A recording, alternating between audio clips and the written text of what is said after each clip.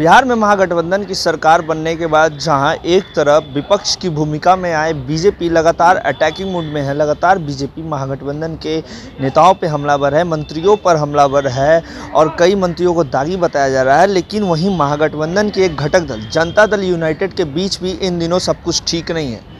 अगर बीते दिन की बात कर लूँ तो कल जिस तरीके से जेडीयू की विधायिका बीमा भारती ने सीधे तौर पे लेसी सिंह पे कई गंभीर आरोप लगाए, वहीं जो मानहानि का केस लेसी सिंह के द्वारा किया गया है, उसको लेके आज जेडीयू प्रदेश कार्यालय में लेसी सिंह को बुलाया गया है। आपको बता दूँ कि लेसी सिंह अभी जेडीयू प्रदेश कार्यालय पहुँची हैं, साथ में जेडीयू के राष्ट्रीय अध्यक्ष ललन सिंह मौजूद हैं, प्रदेश अध्यक्ष उमेश कुशवाहा मौजूद हैं, वित्त मंत्री विजय चौधरी मौजूद हैं और वहीं राष्ट्रीय महासचिव भी पहुँचे हैं और तस्वीरें आप देख रहे हैं, ये सभी लोग पहुँचे हैं पार्टी दफ्तर और लेसी सिंह और बीमा भारती के बीच जो जुबानी जंग चल रहा है, उस प्रकरण को लेकर कहीं ना कहीं ये कयास लगाया जा रहा है। कहीं ना कहीं ये खबर निकल के आ रही है कि जिस तरीके से इन दिनों लेसी सिंह और बीमा भारती के बीच जुबानी जंग चल रहा है, उसको लेकर आज बुलाया गया है और क्या कुछ मामला है दोनों के बीच, उन सभी बातों को लेकर लेसी सिंह पहुँचे हैं। पार्टी दफ्तर तस्वीरें आप देख रहे हैं। वहीं निखिल मंडल के इस्तीफे को लेकर जब हमने विजय चौधरी से सवाल किए तो क्या कुछ कह रहे हैं? विजय चौधरी सुन लेते हैं।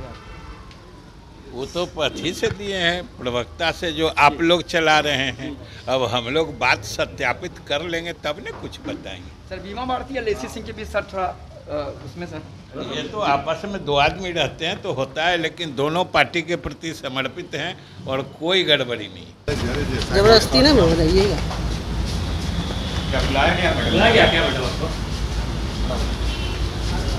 सब बात आप ही लोग बोलते हैं। सुना आपने सीधे तौर पे विजय चौधरी का कहना है कि वो सिर्फ़ प्रवक्ता पद से इस्तीफा दिए हैं। हालाँकि क्या उसके पीछे का कारण है, ये अभी तक पता नहीं चला है। वहीं लेसी सिंह को लेकर भी उन्होंने कहा कि लेसी सिंह और बीमा भारती दोनों पार्टी के प्रति समर्पित हैं और पार्टी के लिए दोनों ही महत्वपूर्ण हैं और किसी भी तरीके का कोई दोनों के बीच मतभेद है तो उस चीज़ों को आपस में बैठकर बात कर लिया जाएगा।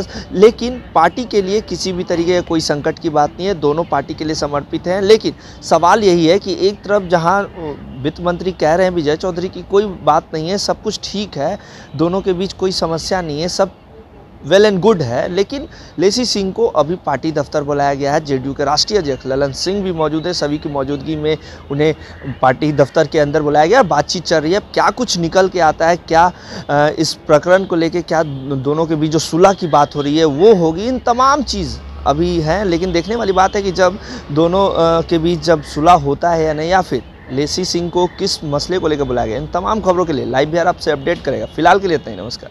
लाइव बिहार यूट्यूब पर सब्सक्राइब और फेसबुक पर लाइक ज़रूर करें।